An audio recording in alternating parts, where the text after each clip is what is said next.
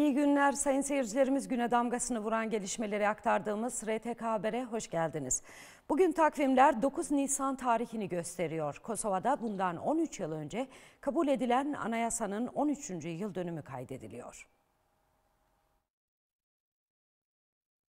Kosova Anayasası 9 Nisan 2008 tarihinde onaylanmış ve 15 Haziran 2008 tarihinde yürürlüğe girmiştir.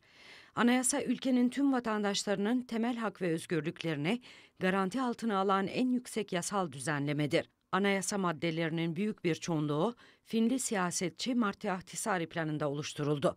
Bu kapsamda Kosova'da yaşayan topluluklara da özel haklar tanındı. Kosova'yı din bakımından layık bir devlet olarak tanımlayan Kosova Anayasası 14 bölüm ve 162 maddeden oluşmaktadır. 9 Nisan Kosova'da resmi tatil olarak kabul ediliyor. Bu da kamu kurumlarının bugün izinli olduğu anlamına geliyor. Kosova Meclis Başkanı Glau Konjuvca, Kosova vatandaşlarının 9 Nisan Anayasa Günü'nü kutladı. Konjuvca bu kutlamada anayasa devletin ta kendisidir ifadelerini kullandı. Kosova Meclis Başkanı Glau Konjuvca, anayasanın hukuki bir devlet için temel dayanak olduğuna dikkat çekti. Konjuvca kutlamasında şu ifadeleri kullandı.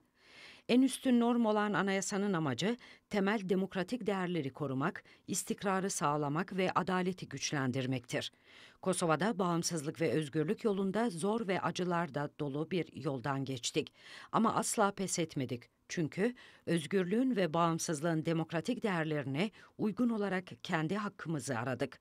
Bugün Anayasa Günü'nde devletimizin temellerini atan tüm kuşakların fedakarlıklarını bir kez daha hatırlıyor ve şehitlerimizi saygıyla anıyoruz.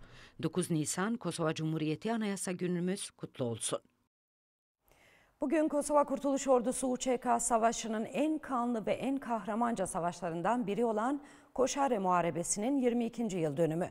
Koşare Muharebesi'nde şehit düşen 114 UÇK askeri bu yılda saygıyla anıldı.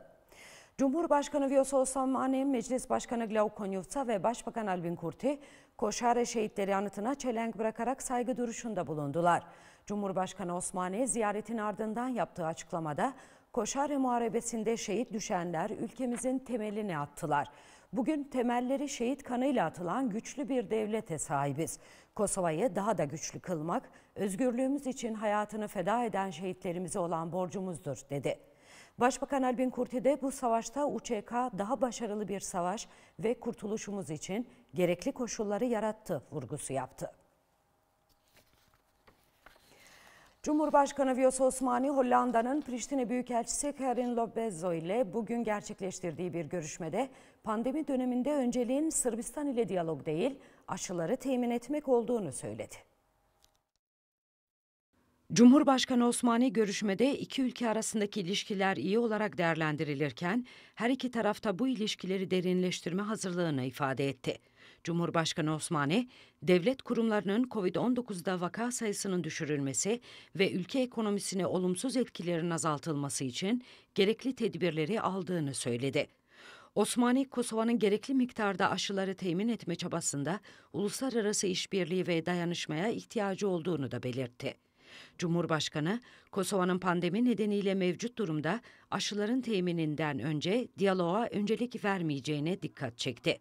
Bu vesileyle Cumhurbaşkanı Viyos Osmani böyle bir durumda Kosova'nın yalnız bırakılmayacağı ve acil aşı ihtiyacının karşılanmasında dost ülkelerden destek beklediklerini ifade etti. Evet Kosova öncelikli konumuz değil diyor ama diyalogda arabulucu olan Avrupa Birliği böyle düşünmüyor. Avrupa Birliği Dış Politika Sözcüsü Peter Stano kurumların kurulmasından sonra Kosova'nın reformlar sürecine ve Sırbistan'la diyaloğa odaklanması gerektiğini söyledi. Avrupa Birliği Dış Politika Sözcüsü Peter Stano, Avrupa Birliği Dış Politika Şefi Josep Borrell'in en kısa zamanda Cumhurbaşkanı Viyos Osmani ve Başbakan Albin Kurti ile görüşmeyi beklediğini söyledi. Ancak fazla ayrıntı vermedi.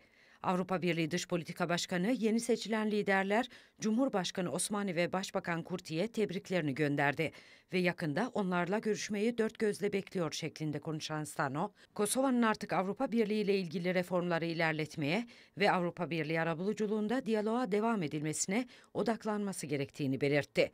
Stanos Sırbistan ile diyalog konusunda toplantı için tarih vermeyerek uygun olduğunda bir sonraki toplantıyı açıklayacaklarını ifade etti. Yenilikçi Türk Hareket Partisi bir yıldan bu yana Türk temsilci atanmayan Prizren Belediyesi Topluluklar Komitesi'ne Türk temsilci atanmasını talep etti. YTHP sosyal medya hesabı üzerinden yaptığı paylaşımda şu ifadelere yer verdi. Prizren Belediyesi Meclisi Topluluklar Komitesi'nde bir yıldan fazla Türk temsilci yer almamaktadır.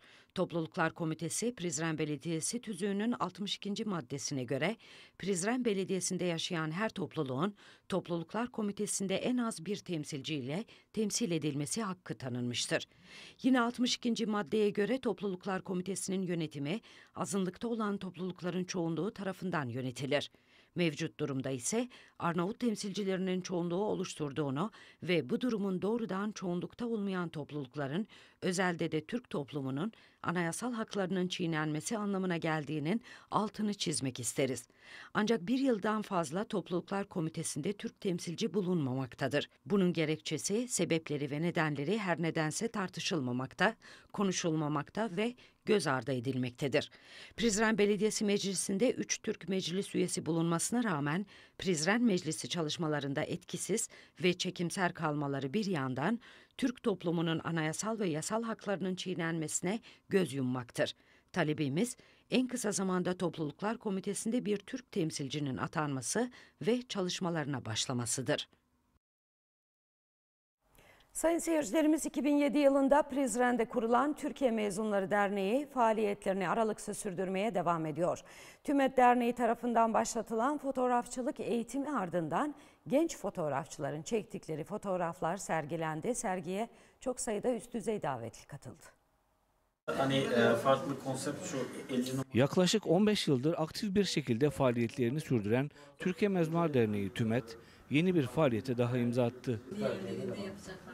TÜMET Derneği tarafından başlatılan ve fotoğraf sanatçısı Barış Karamuça ile Türkiye'den Engin Güneysu tarafından verilen eğitimle çok sayıda fotoğraf meraklısı genç fotoğraf makinesi ve çekimiyle ilgili detaylı eğitim gördü. e, pandemi nedeniyle e, Zoom platformu üzerinden eğitimler gerçekleşti. Ardından gruplar e, oluşturularak e, çekimler başlandı. Bu tüm fotoğraflar bir havuzda toplanarak ardından Instagram üzerinden, sosyal medya üzerinden bir sayfa kurularak bunların paylaşımı ve hangi fotoğraflar üzerinden daha çok etkileşim alınıp alınmadığıyla ilgili takipler yapılarak bu e, bu şekilde bir sergi oluşturduk. Aynı zamanda e, katılımcılara da e, yeni dernek binamızın da bir tanıtımını aynı anda yapmayı düşündük.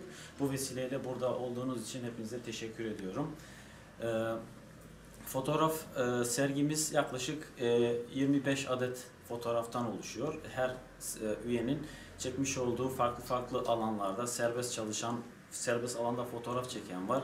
E, sokaktan yaşamlar, kapılarla ilgili fotoğraflar çeken var. Doğal e, fotoğrafları te- çekmeyi tercih eden arkadaşlarımız oldu. Kursiyerlerin çektiği fotoğrafların yer aldığı sergiye Kosova Bölgesel Kalkınma Bakanı Fikrim Damka, Kosova Demokratik Türk Partisi Milletvekilleri Fidan Birner Jılta ile Enis Kervan, Türkiye Cumhuriyeti Prezident Başkonsolosu Serdar Özaydın da katılım sağladı. Ee, daha nice faaliyetlerde bir arada olmak e, temennisinde bulunmak istiyorum.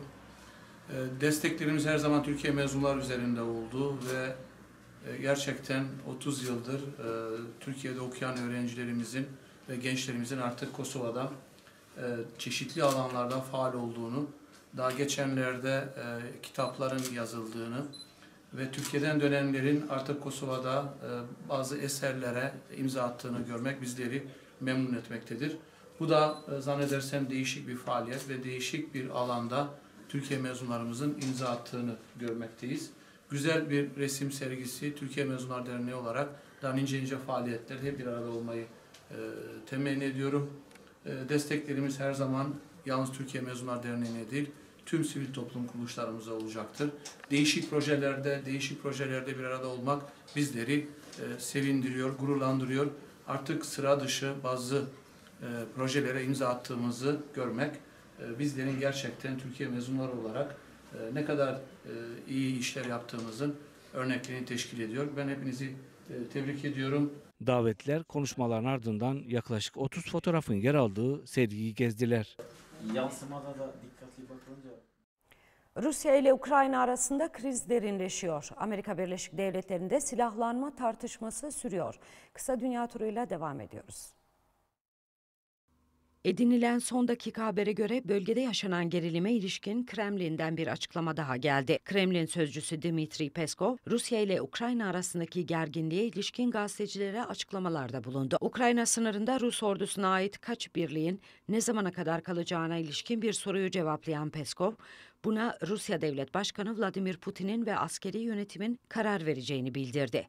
Peskov, Rusya Silahlı Kuvvetleri Rusya topraklarında gereken ve uygun olan yerde bulunuyor ve başkomutanımız ve askeri yöneticilerimiz tarafından uygun görüldüğü sürece orada kalacaklar ifadelerini kullandı. ABD Başkanı Biden ülkedeki silahlı şiddeti salgın ve uluslararası utanç olarak niteleyerek yeni silah düzenlemelerini duyurdu. ABD Başkanı Joe Biden, Başkan Yardımcısı Kamala Harris'in de katılımıyla Beyaz Saray'da düzenlenen etkinlikte ülkede son dönemde artan silahlı saldırıların ardından yeni silah düzenlemelerini açıkladı. Bazı silah düzenlemesi karşıtlarının anayasanın ikinci ek maddesini gerekçe göstermelerini anımsatan Biden, silahlı şiddet bir kamu sağlığı krizi. Anayasadaki hiçbir ek madde mutlak değildir. Bir sinema salonuna girip insanlara ateş açmayı ifade özgürlüğü olarak nitelendiremeyiz diye konuştu. Biden, ülkedeki silahlı saldırıların önlenmesine yönelik yeni birçok adım atacaklarının altını çizerek, ülkemizde silahlı şiddet bir salgın, bu uluslararası bir utanç değerlendirmesinde bulundu. RTK Haber'in sonunda her zaman olduğu gibi hava durumuna bakacağız. Ama ondan önce sizi Türkiye'de, Gaziantep'te Fıstık Müzesi'ne götüreceğiz. İlginç görüntülerle dolu bu haberimiz geliyor. Ardından da hava durumuna bakacağız. Fıstığın insanlık tarihi kadar bir geçmişi var. Bu işin sırrı toprak, güneş, toprağın kalitesi ve emektir. Büyük bir mücadeleyle ortaya çıkan fıstığın büyük bir hikayesi var. Türkiye'de lezzetin başkenti Gaziantep'i Gaziantep yapan ana damarda fıstıktır. Bu nedenle Gaziantep Büyükşehir Belediyesi Antep fıstığının tarihini, nasıl yetiştirildiğini, sofralara gelene kadar ne gibi aşamalardan geçtiğini fıstık şeklinde yaptırılan müzede anlatıyor. Kent merkezindeki 50 dönüm arazi üzerinde kurulan Fıstık Park içindeki Fıstık Müzesi'nde vatandaşlar fıstığın tohumdan fideye, aşılanmasından toplanmasına ve kırılmasına kadar olan süreçleri özel olarak yaptırılan bal mumu heykeller eşliğinde görecek. Fıstık Müzesi'nde fıstığın her aşaması anlatılıyor. Fıstık çeşitlerinden tutun da nasıl aşılanır, nasıl dikilir, hanımlar nasıl fıstık kırar, fıstık ağacından nasıl mengeniç kahvesi yapılır bunları gösteren güzel bir müze dış tasarımına fıstık şekli verilen dünyanın ilk fıstık müzesi olma özelliğini taşıyor.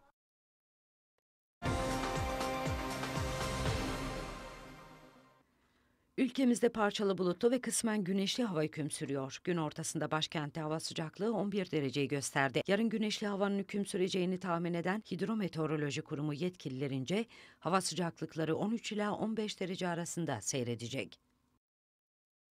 Değerli izleyenlerimiz haftanın son RTK Haber'inde birlikte olduk. Tüm ekip arkadaşlarım adına sağlıklı, mutlu ve huzurlu bir hafta sonu diliyorum efendim. Hoşçakalın.